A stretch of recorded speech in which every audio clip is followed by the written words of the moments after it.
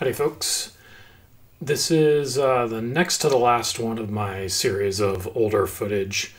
Uh, I promise I'll have some uh, newer, newer stuff coming up soon.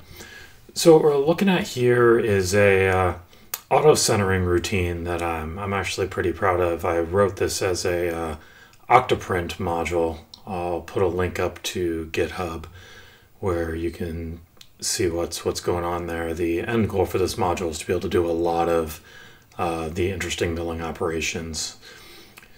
Uh, so it goes and bounces off of the chuck jaws, and then it's set up to stage the piece, which is you know where you saw I just kind of moved it and then set it up against the cutter, and uh, then tighten it down. So here it's going through and actually doing the uh, the first of several cuts. It's going to go back and do a second pass. If you look at the uh, if you look at what the plugin looks like, it lets you define the depth per pass and all kinds of fun stuff like that. So as here where I'm just cutting pine, you can take a really heavy cut, but if this were going into going into metal, you'd be you know talking about going thousandth thousandths at a time as opposed to going you know half an inch at a time.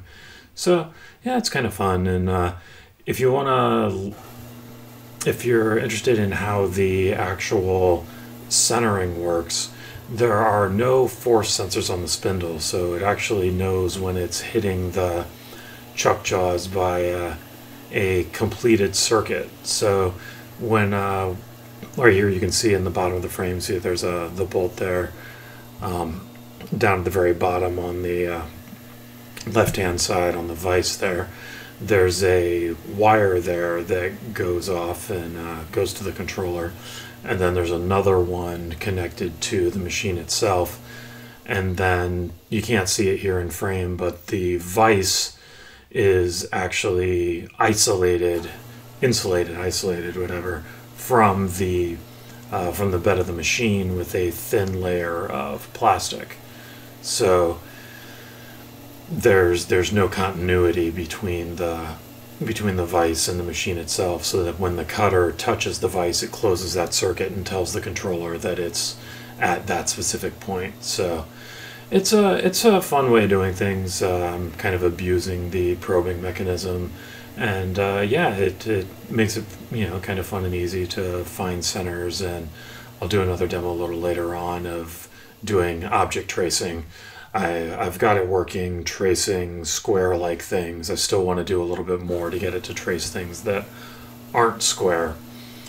Uh, to, I don't know, just be able to, for it to see what kind of stock it's working with, do some automation around, you know, figuring out what needs to clear out, not providing all the dimensions of the stock. Um, of course, it'll only work with, with metal stock, anything conductive, it won't work with wood but it's still a uh, you know an interesting exercise nonetheless.